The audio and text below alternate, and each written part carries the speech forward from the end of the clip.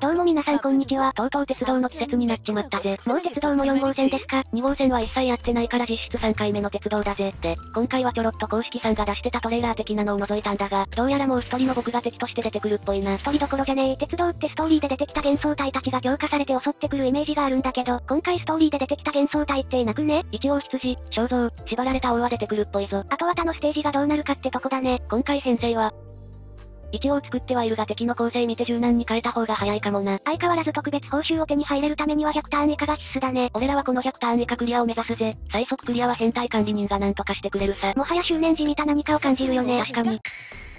じゃあ早速鉄道に乗り込むぜ。うっすら1から3戦目までは何が来るか分かってるんだけどそれ以降が問題だね。今回は4つの区間に分かれてるな。前回と似てるぜ。合間合間に休憩マスがあるのも一緒だね。1戦目は初見の幻想体ってことは分かってるから一旦様子見してみるかな。そういや4号線は編成順で特殊バフがあるんだよな。そうだね。例えば1番目に編成すると人格レベルが2上昇。2番目なら開始時精神力がプラス10された状態で始まって精神力が回復しやすくなるって感じ。そして6人目以降、7から12番目の人格はちょっと強めのバフがもらえるよ。例えば開始時精神力プラス30とか、非ダメージマイナス10%とかだね。ちなみになんで後ろに行くほど強くなるかっていうとだね。今回の戦闘スタイルが結構特殊で、例えば最初に編成した6人のうち誰かがやられると、7番目に編成した奴がやられた囚人の代わりに戦闘に参加してくれるんだ。だやられてもひたすら継ぎ足し継ぎ足しで戦闘していく感じだね。そしてなんと今回の戦闘は全てがウェーブ制になってるぜ。1マスクリアして次、1マスクリアして次、じゃないんだよな。3マス一気に戦闘ってわけだ。だからこれ、今までみたいに上振れを狙う戦闘をする時が遠くなるくらい時間がかかるんじゃないか？いやリセットがあるからそうでもないのか？まあ今回は特にターン数を詰めていくわけじゃないからそんな意識しないでいいな。しばらく編成順悩んでたから飛ばします。さあ4号線最初の幻想体、ある日の肖像だぜ。なんとなく予想できるのは今回出てくる敵たちはかなり金銭が濃いめだってこと。あ、最初貫通濃いめの編成で言ったんだが情報を見ると斬撃が弱点っぽいから編成変えてのリトライ戦だぜ。と言ってもダブル車の皆以外は特にシナジーも何も考えてないんだけどね。じゃあ早速戦っていくかな。なんかギミックが発動するまでは殴るしかない。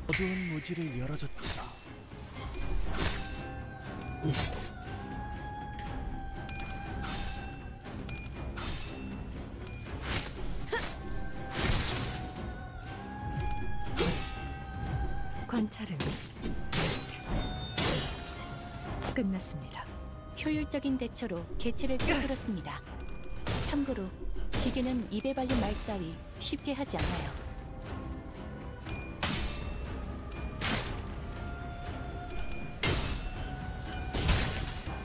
자! 내 앞을 막을 자는 없어!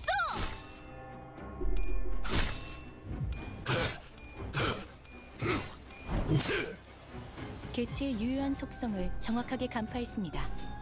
제 예상만큼 관리자님의 능력이 우수하다는 것이 증명되는 것 같아 다행이군요.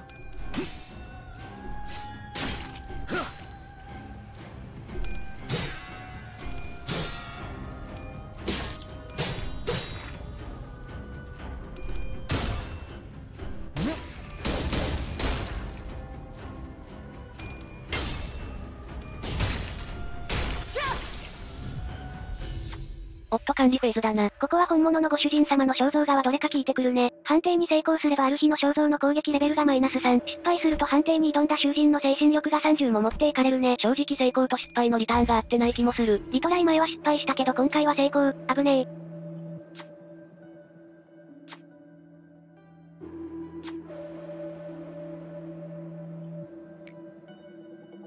moon そしてこの管理フェーズが終わるとある日の肖像は肖像画をいくつか召喚してくるよ。この中のどれかが本物の肖像画で、それを破壊できればある日の肖像に大きいデバフを与えられるよ。ある日の肖像とのマッチに勝てれば肖像画とのつながりが見えるからここは絶対にマッチに勝っておきたいな。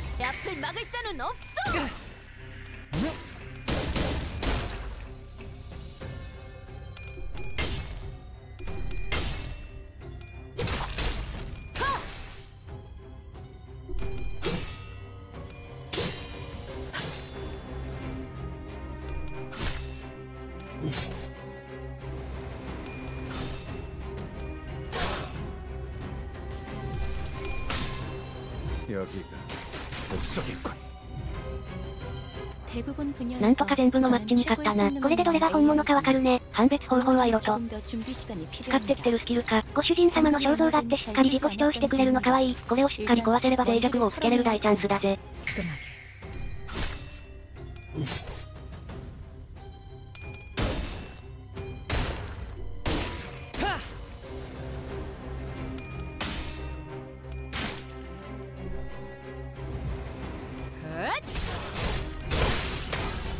적에게 치명상을 입혔군요. 관리자님은 당신이 생각하는 것보다 대단한 능력을 갖추고 있다고 제가 늘 말씀드렸죠. 저는 언제나 옳은 말만 한답니다. 그만해.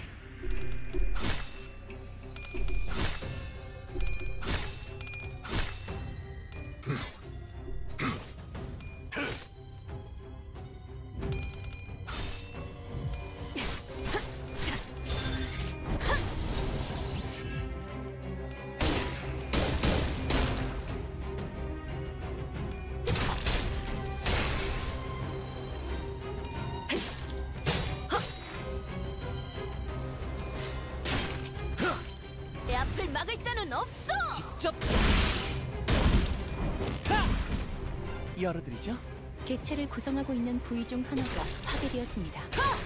이 틈을 파고들어도 좋을 것 같군요.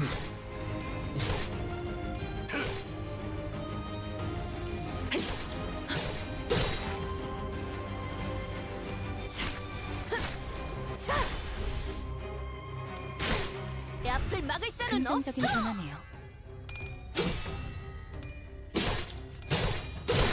더 이상 얻을 정보는 없군요. 倒してほっとしたのもつかの間第2フェーズ。ワイルドハントだぜ。エグすぎる今回の鉄道。ワイルドハントはマジでただのワイルドハントだから飛ばすぜ。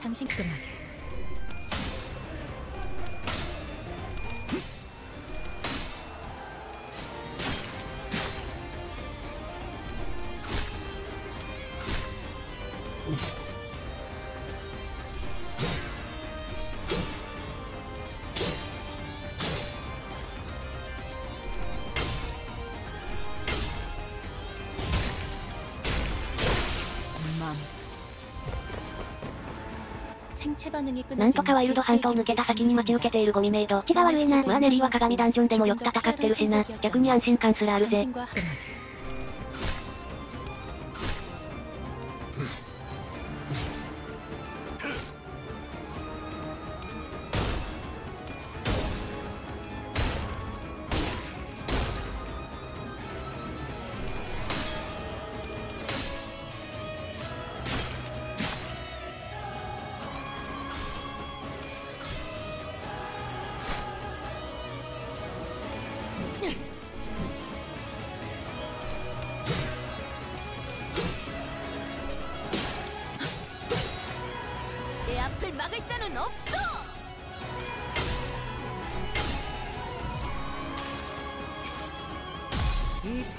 속에서 움직일 수 있는 오직 나. 엣!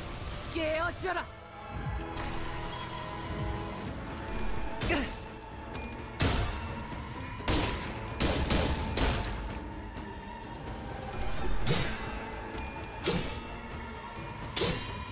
부서진 홍차잎 같군요.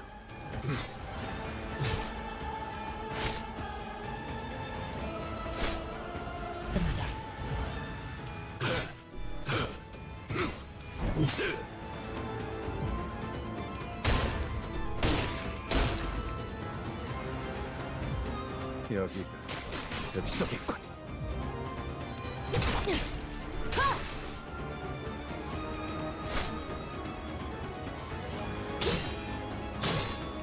내 앞을 막을 자는 없어.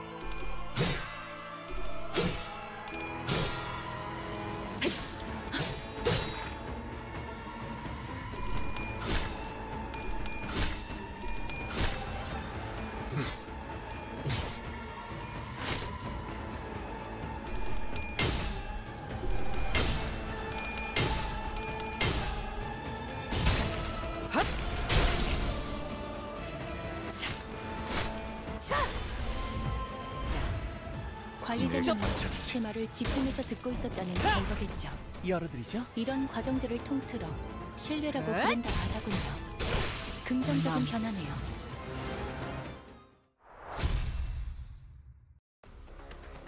これで最初の区画クリア。これがあと3回あるぜ。殺してくれ。この休憩マスで人格の編成、体力回復ができるぜ。精神力を初期化するのやめてもらっていいですか 대부분 분야에서 二つ目の区画最初の敵は N 社人格の皆だぜ。こいつらは本当に俺たちみたくパッシブ、EGO やスキル構成が一緒だぜ。何より普段から俺たちが売ってる EGO を相手が売ってくるようになるってだけでもう厄介なこと極まりない。そしては7のが、何も考えずに沈戦とかでこいつらの精神力をマイナス45にすると、EGO を侵食状態になって見境なく攻撃してくるってことだな。正直今回の鉄道はこの影との戦闘が一番壊滅の危機が多かったぜ。ただ俺たちと同じく割とすぐに混乱するから厄介な攻撃のタイミングで混乱させられれば案外なんとかなったりもするぜ。しかもしっかり最大強化されてるっていう課。金したんじゃね 앞을 막을 자는 없어!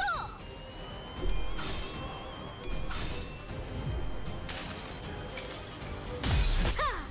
전부 찢어버리겠네!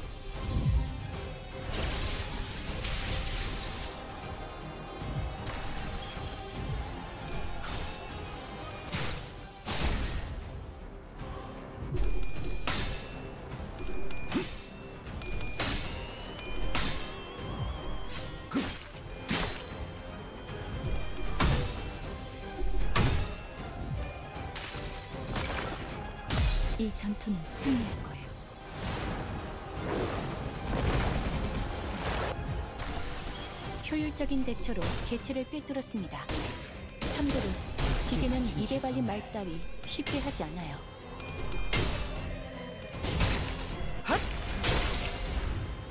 내게 받쳐주지.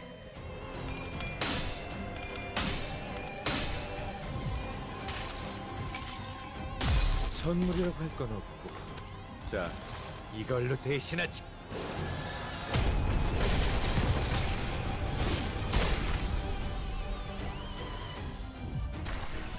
개체의 유효한 속성을 정확하게 간파했습니다. 제 예상만큼 관리자님의 능력이 우수하다는 것이 증명되는 것 같아 다행이군요.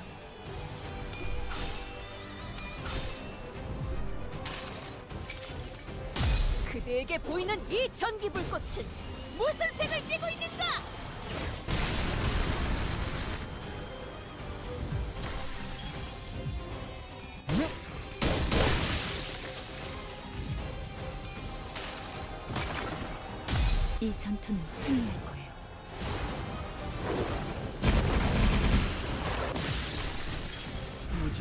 무지를 열어줬지라. 모을 필요는 없겠군요. 탈출 개체가 정리되었습니다. 맘 생체 반응이 끊어진 개체의 기록을 ？N 社の皆を突 감지합니다. 破した。 만약 え 제가 、国運会か。 인간이었고 普通に何の変哲もない国運会出てきたんですが、 당근에 있습니다. 제거합니다. 관리자님은 다음은 어디요? 제 말을 집중해서 듣고 있었다는 결과겠죠. まあ軽くあしらいまして、今度は小麦人格の皆が出てきたな。小麦人格普通に強いんだから勘弁してくれよ。 어두운 무지를 열어줬지라.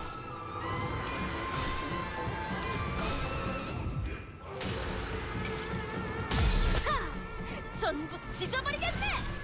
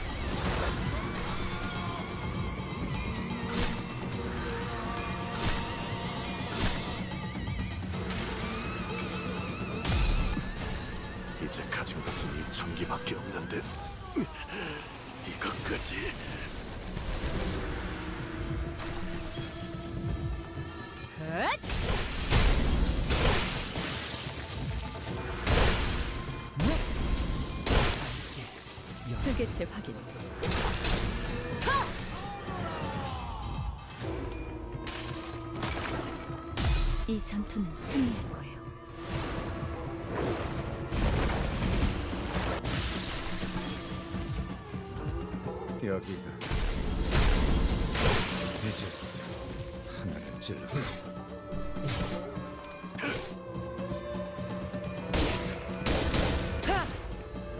너를 제거합니다. 내가 너를 위해 기도할 것이니 넌 반드시 부서진다.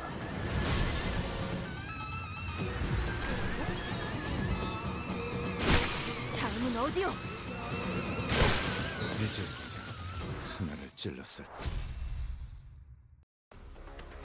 2つ目の区画もクリア、経過ターンは多分30数ターンってとこかこの調子でいけば100ターン以下クリアは余裕でいけそうだけど、あと2つの区画、にウェーブなんだよなって、もこもこしたシルエットは羊だと思うが手前のマスは何が来るかわからんな。ウェーブが少なくなるってことは難易度が高いってことなんですよね。あ、また影たちなんだ。ちなみにこの影ども今回は俺たちと同じくバックアップメンバーがいるぜ。まあつまり12人全員倒す必要があるってことだな。ふざけるな。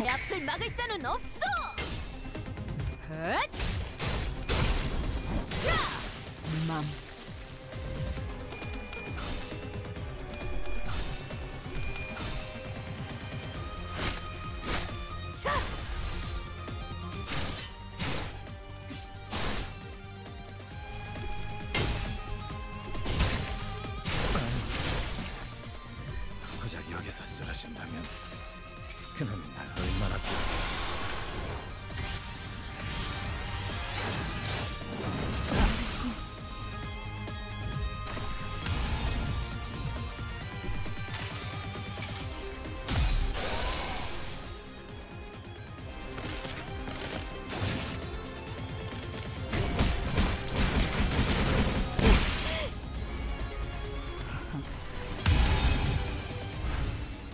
그리고 저는 당신에게 역대 최고의 관리자를 기대하고 있죠.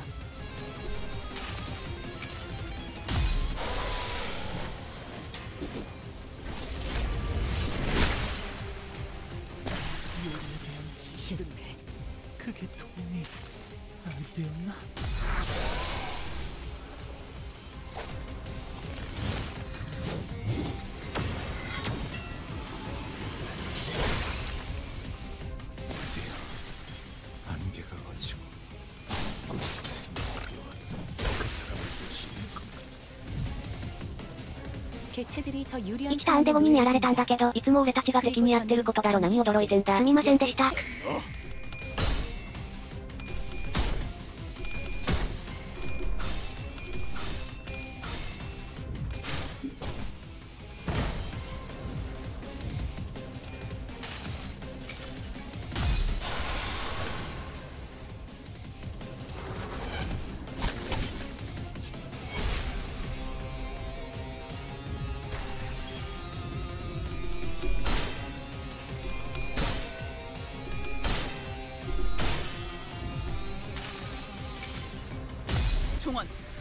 조명이 전멸하는 저곳으로 파도가 모든 것을 쳐부술 거다.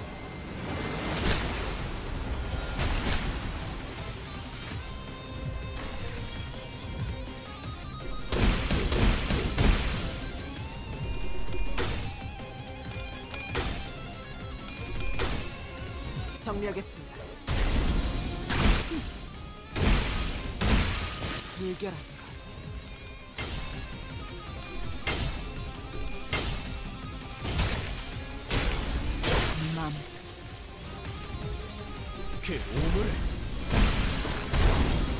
떼어내주지. 총원 불경!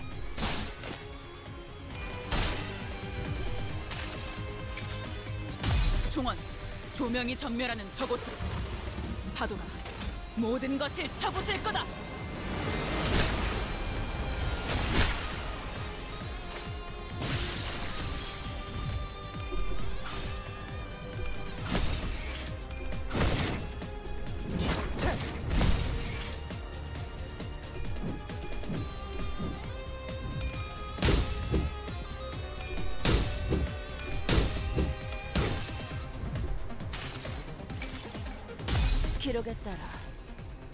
당신을 반드시 집행하겠습니다.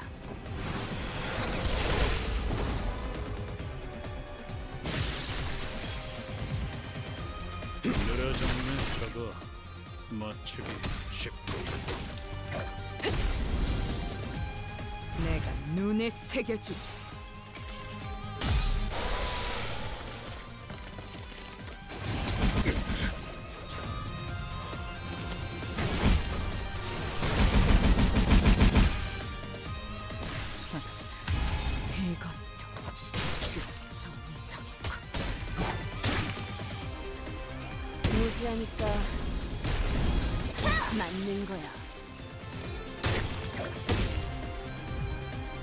불길 속으로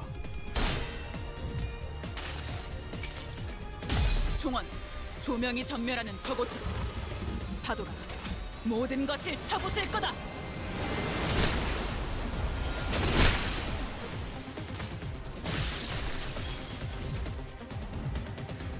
무지하니까 깨달았나?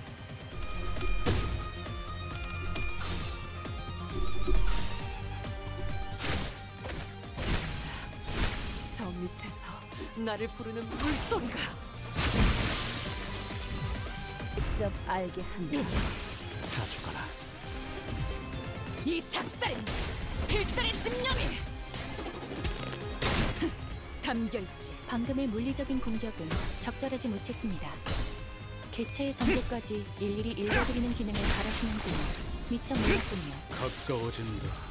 항해 끝. 개체들이 더 유리한 상황에 놓여 있습니다. なんとか全員倒しきったがまだ終わりじゃないぜ。もふもふ羊が残ってる。一回半壊した後に信玄総隊と戦わされるのきつすぎる。この羊は開幕マッチ不可の攻撃を仕掛けてくるからなるべく混乱はさせたくないところだが。 직접 알게 함이라.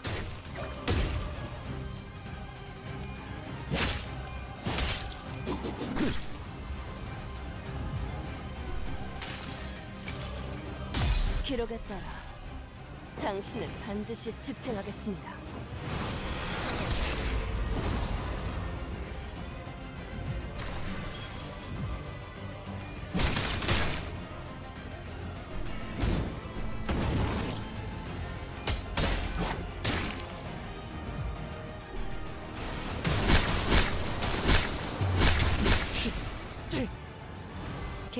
なんか発電機みたいなの出てきたんだけど、初見の状態だと情報がまだ解放されてないがこいつはしっかり毎ターン殴らないとダメだぜ。この発電機は非ダメージを全て例にする代わりにダメージを与えてきた囚人に対して特殊バフを付与する。この特殊バフを持った状態で羊とのマッチに勝つことで相手の羊を弱らせることができるんだ。だから誰か一人はこいつを殴りたいところだぜ。そもそもこいつ普通にほっとくとこっちに麻痺付与してくるからマッチはしに行った方がいいね。こいつからバフをもらって羊を殴って混乱させて。の繰り返しだな。とりあえずやってみますか。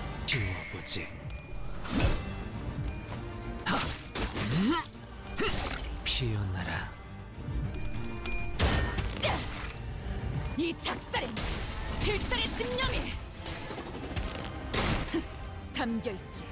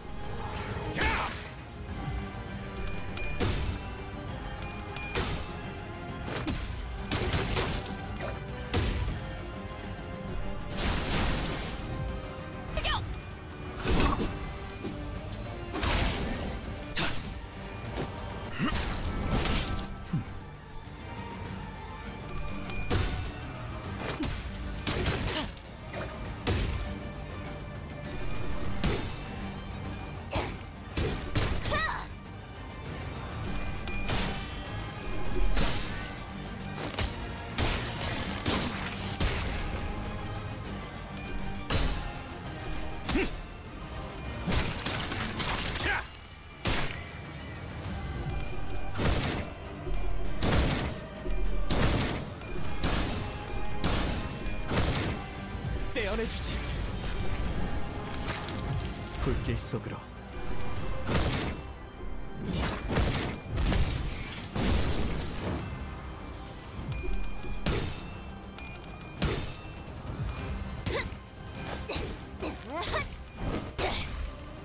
けだらんな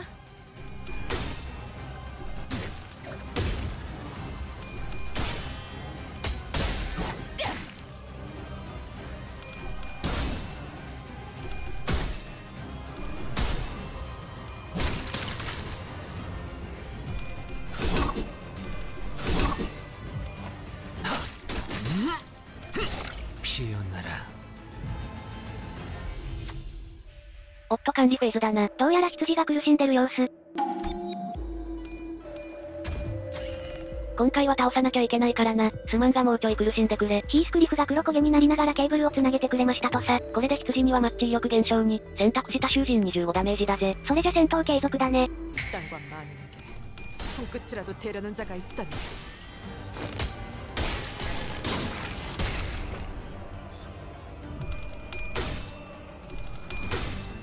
정리하겠습니다.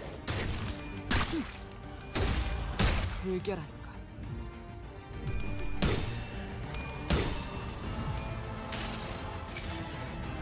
기록에 따라 당신을 반드시 집행하겠습니다.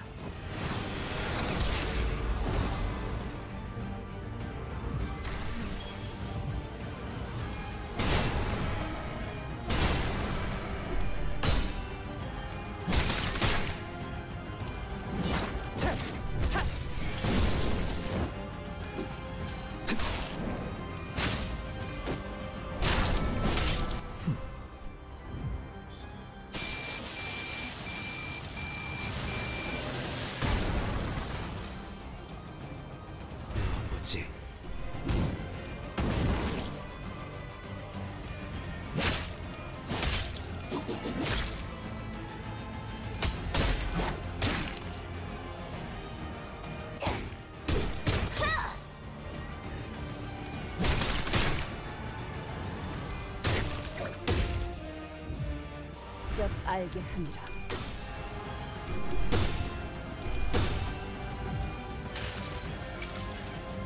쓸데없는 관심 필요 없다.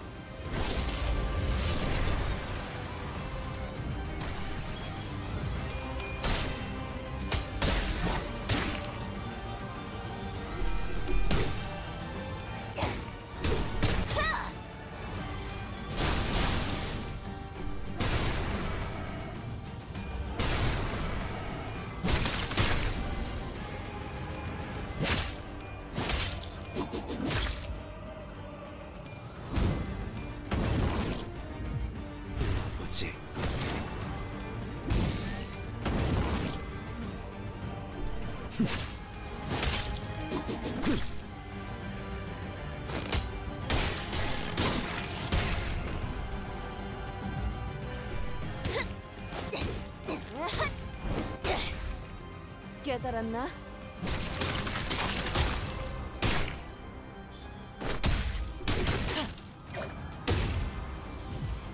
직접 알게 하니라.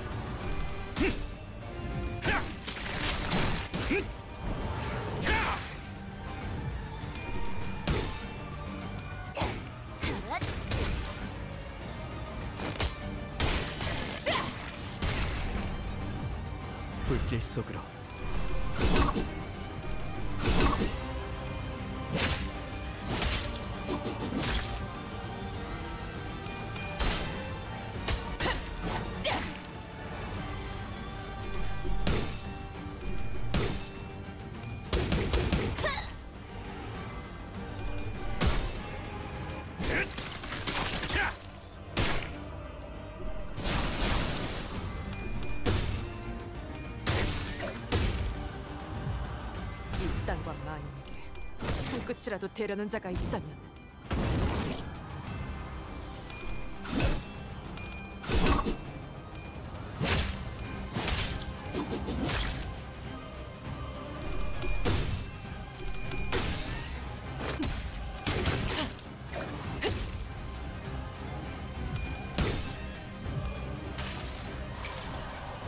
그래도 언제나 추월할 수는 없습니다.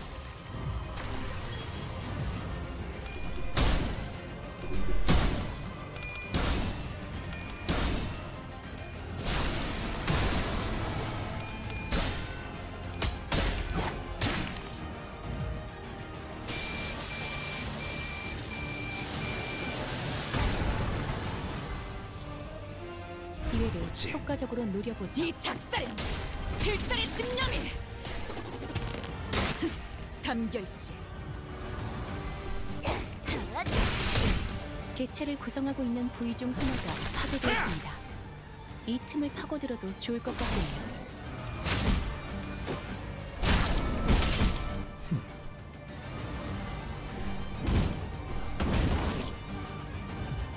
정리하겠습니다. 초대받지 않은 것들 모조리 치워버린다. なんとか3つ目の区画もクリア。次が最後の区画だな。マジでちょうど半壊してたな。残すは縛られた王のはずだから。ちょっと編成考えるか。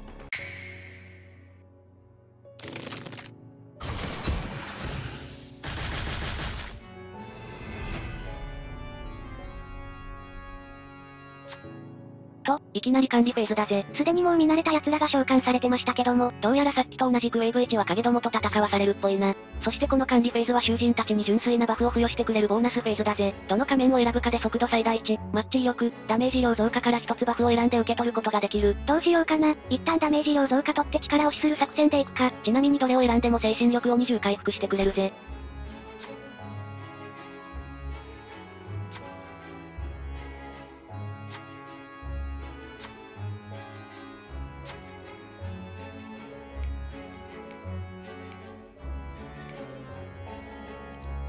대부분 분야에서 저는 さて影どもとの戦闘だな。特殊バフとして縛られし王の包帯。盛大な艦隊があるぜ。厄介なのは縛られし王の包帯だな。このバフを持った奴が倒されると相手全員に沈戦威力に、回数1を付与する。人格とも合わさって気づいたら沈戦が山盛りにつけられててやべえことになるぜ。結局影どもは前座だからなんとか突破したいところ。 긍정적인 변화네요. 급소가 전부 꿰뚫렸네. 다시 못 살게 구는 일은 없을 것이오. 오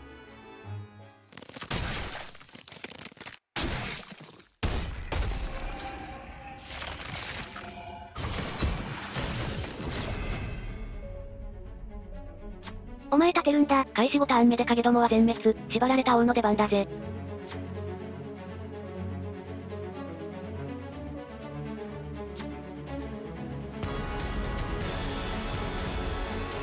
縛られた王が出てくるタイミングでまた管理フェーズ。ここでさっき選んだ仮面の種類を変えることができるぜ。EGO 資源がもらえる仮面ちょっといいなって思ったけどいくつ資源がもらえるかわからないんだよな。ってことで引き続き激怒仮面被っていきますね。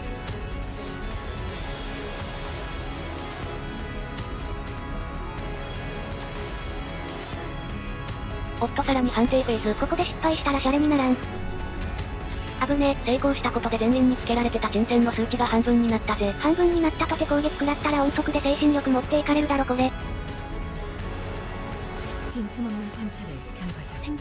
さて戦闘開始だな。なんかもうすでに体力かなり削れてるが、こいつとの戦いはさっき見た厄介なバフ、縛られし王の包帯バフが重要だぜ。このバフをとにかく全員が持ってる状態にしておきたいな。パッシブは3つしかないのかこいつ。胴体部位を破壊すると全員に縛られし王の包帯バフを付与してくれるから活用してもいいな。とりあえず何か起こるまで縛いてみますかね。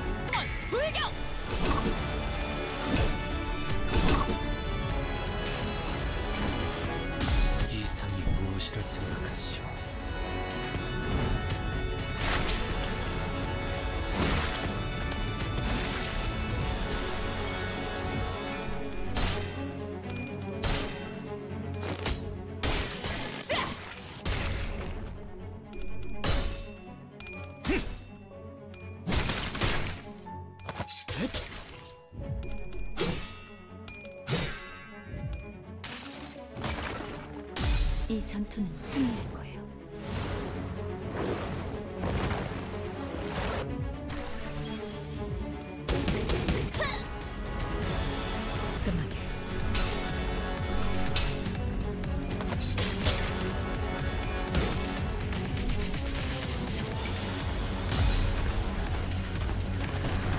아름다운 춤을 추는 건 나뿐이어야 해. 그럼 네 발목을 잘라버리면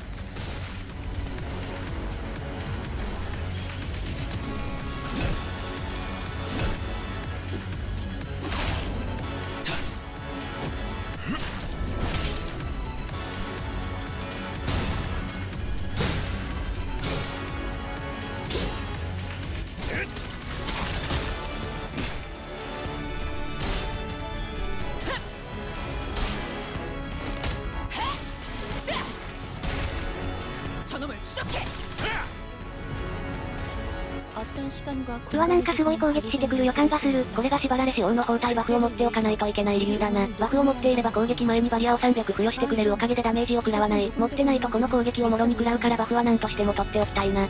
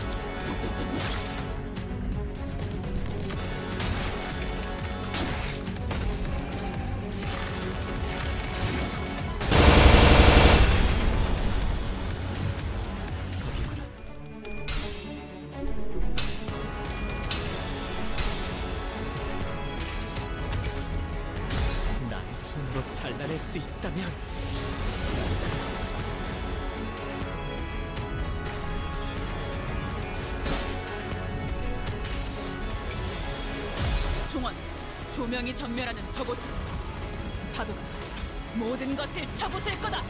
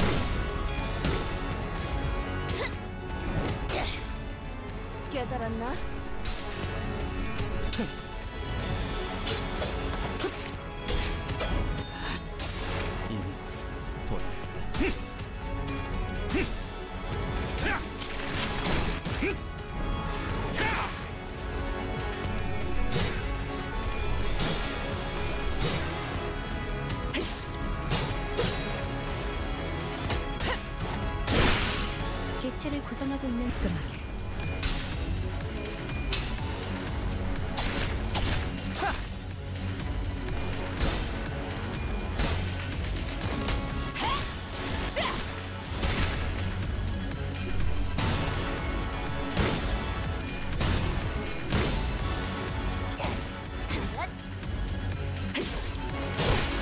이상 얻을 정보는